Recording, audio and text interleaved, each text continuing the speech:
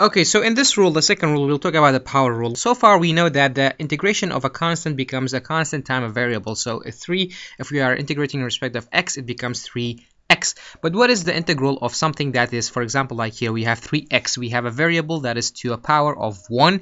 How do you find the integral of that? Well, the rule is simple. The integral of a function f with a power p is the function with p plus 1 power over p plus 1. So let's say we have x x has a power of 1. What is the integral of x? Well, basically you add 1 to the power of x, so it becomes x squared, and then whatever number you have, you put it on the bottom, so it becomes x squared over 2.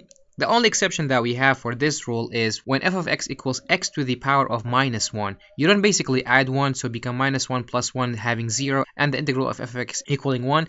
But actually what you do is the integral of f of x equaling x to the minus 1 is natural log of absolute value of x plus c, c being the constant.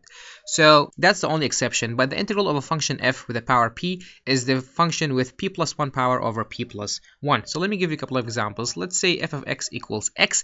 What is the integral of f of x? Well, basically, it's as simple as that, so it becomes x squared over 2.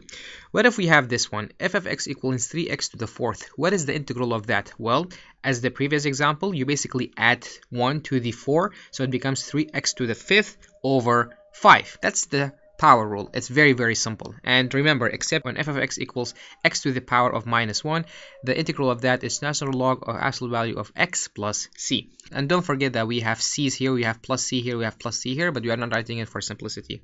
So let's say we have this example, f of x equals the square root of 4x. How do you find the integral of that? Or where is the integral? Well, basically, turn this into a bracket. It becomes 4x to the power of 1 over 2. And the integral of f of 2x to the power of 1 over 2, basically you add 1 to it. So it becomes 2x 3 over 2 because 1 over 2 plus 1, it becomes 3 over 2. It's 2x to the 3 over 2 over this power, this number that we get. So it's 2x to the 3 over 2 over 3 over 2. And this is basically is just 4 times the cubic root of x squared over 3. So this is basically the power rule. When you want to find it, basically you add 1 to the power and then whatever number you get, you put it on the bottom. So the integral of a function f with a power p is the function with p plus 1 power over p plus 1. And don't forget the exception. So this is about the power rule. Let's check out the third rule.